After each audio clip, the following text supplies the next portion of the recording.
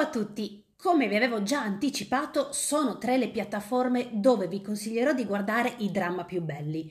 Oggi vi consiglierò 5 drama da vedere su Viki Rakuten. Viki Rakuten è un'applicazione che potete scaricare da qualsiasi store, sia Android che Apple, e su tantissime smart TV. Come vi dicevo, contiene un 40% di drama gratuiti a cui tutti possono avere accesso. E dato che voglio introdurvi al mondo dei drama piano piano, oggi vi consiglierò 5 drama che sono per l'appunto gratuiti su Viki Rakuten. Il primo dramma che vi consiglio oggi si intitola I discendenti del sole ed è un dramma coreano del 2016 che vede come protagonista Song Joong-ki, uno degli attori coreani più famosi in assoluto. Questo è uno dei drama più belli in assoluto, con una storia che si alterna tra il mondo militare e il mondo medico e racconta una bellissima storia d'amore tra un capitano e una um, dottoressa volontaria in questa terra immaginaria,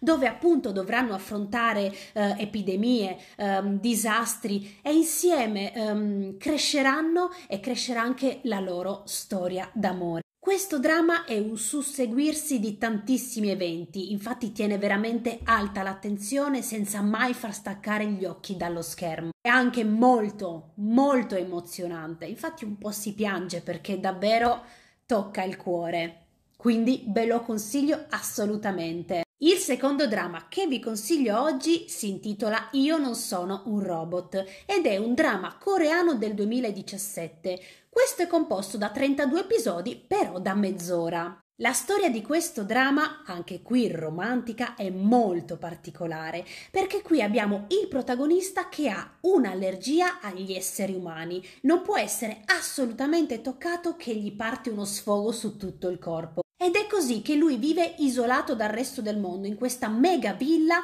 dove nessuno ha accesso.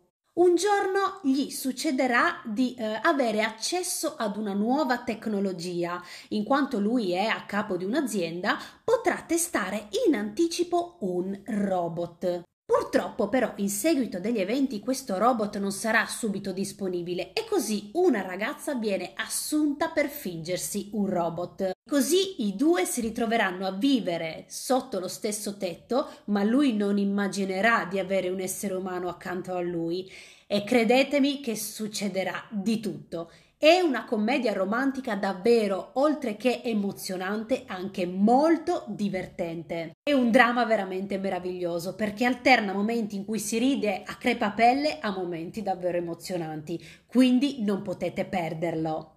Terzo dramma di oggi si intitola Oh My Venus ed è anche questa una storia d'amore. Dramma coreano del 2015 che vede come protagonista un bellissimo Soji Sub racconta la storia d'amore tra questo personal trainer delle celebrità ed una ragazza um, un po' in sovrappeso diventata una famosa avvocatessa. I due sono amici d'infanzia, però si sono separati e ora non si riconoscono l'un l'altra. È così che avranno una nuova occasione di avvicinarsi quando lui diventerà il suo personal trainer e l'aiuterà a perdere peso. Penso che questo sia uno dei drama più conosciuti per chi è all'interno di questo mondo ed è davvero molto emozionante, quindi non perdetevelo. Il quarto dramma di oggi si intitola Boo, Two Words.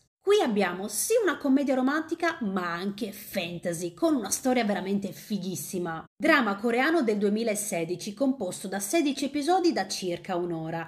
E anche qui vediamo come protagonista uno degli attori coreani più famosi, che si chiama Lee Jong-suk.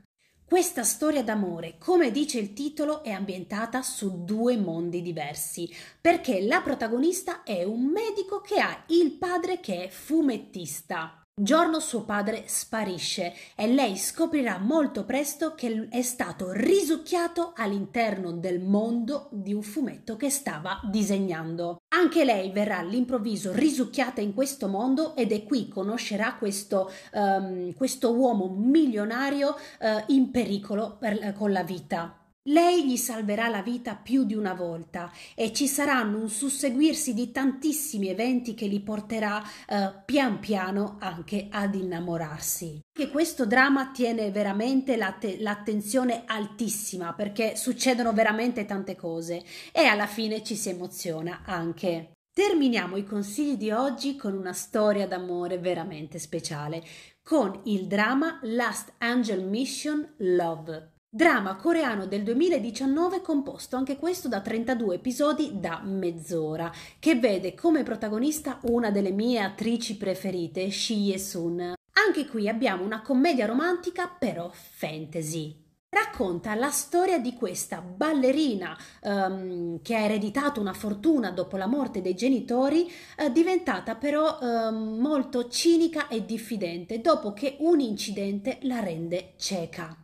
Un giorno si imbatterà in Kim Den, un angelo che ha la sua ultima missione prima di ascendere definitivamente al paradiso, ossia far ritrovare l'amore alla ballerina. Per lui sarà una missione veramente molto difficile perché lei ha un caratterino veramente un po' complicato, non si fida più di nessuno e quindi eh, porre la sua fiducia in questo, eh, in questo angelo sarà molto difficile per lei. Però pian piano nascerà una storia d'amore meravigliosa con uno dei baci più belli visti in un dramma coreano. Anche qui preparate i fazzoletti perché è davvero molto emozionante.